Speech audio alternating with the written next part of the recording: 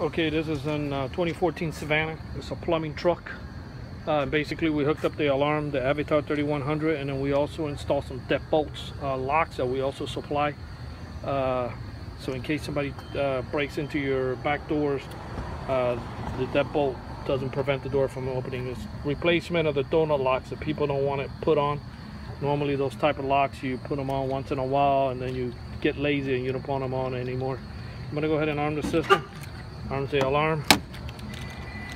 Disarms it. Unlocks the doors. Disarms the alarm. This one had power locks so we went ahead and hooked, uh, hooked it up to lock and unlock all the doors.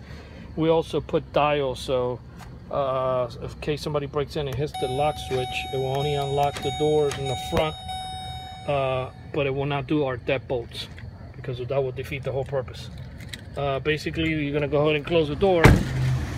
We give them an LED light right here in the corner of the windshield okay?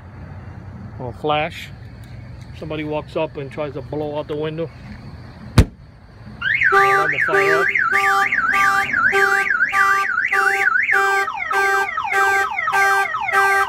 ahead and shut it off. This one is trunk. It doesn't have trunk. Panic is here. If you press it again it turns it off. I'm going to show uh, the deadbolts now.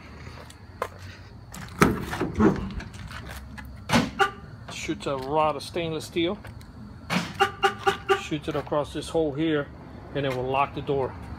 So uh, we went ahead and did the back door. The kits come with two, one for the rear and one for the side door. Okay. And it smacks right here in the side. Okay, the rod will travel approximately about to here.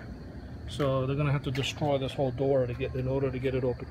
This alarm and deadbolt system was installed here in this plumbing truck and by Auto Alarm Specialist here in Miami. Yes, we do have free mobile service. Thank you for watching this video.